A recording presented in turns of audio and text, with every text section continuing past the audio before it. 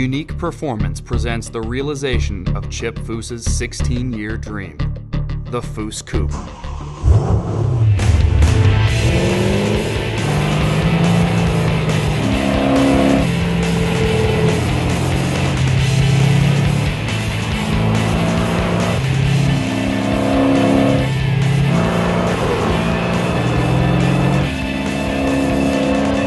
1990, when I was a student at Art Center, I designed a car for Chrysler Corporation. They had come in and wanted us to do a niche market vehicle. And rather than creating a niche market vehicle, which they asked for, I catered to a niche market. There are already hot rodders out there, there's muscle car enthusiasts, and there's supercar enthusiasts. I created something by blending all three of them and came up with the Hemisfear. We've got the mid-engine configuration that actually ties in that supercar feel, but you've got the hot rod cues and styling, and you got this sort of a profile of a muscle car. You know, it's everything wrapped into one package that a lot of people say, well, you can't do that.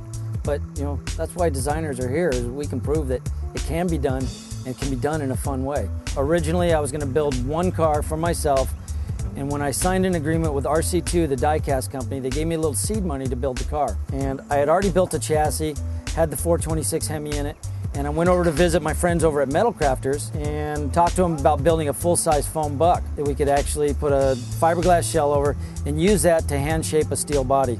And in talking to the guys at Metal Crafters, they said, why don't we build 50 of these? And rather than doing steel bodies, let's do it autoclave carbon fiber. Uh, it's pretty much all Formula One technology. The same carbon fiber that goes in Formula One cars is what we use on the Coupe and not only to work with them, but to work with the great guys over at John Hotchkis Performance and their sports suspension. Now to combine both, where we know that we're going to build this, let's get the best in the business to actually make a suspension that's going to perform. You know, it's state of the art. This is now a supercar. And being out here on the track today has proved that.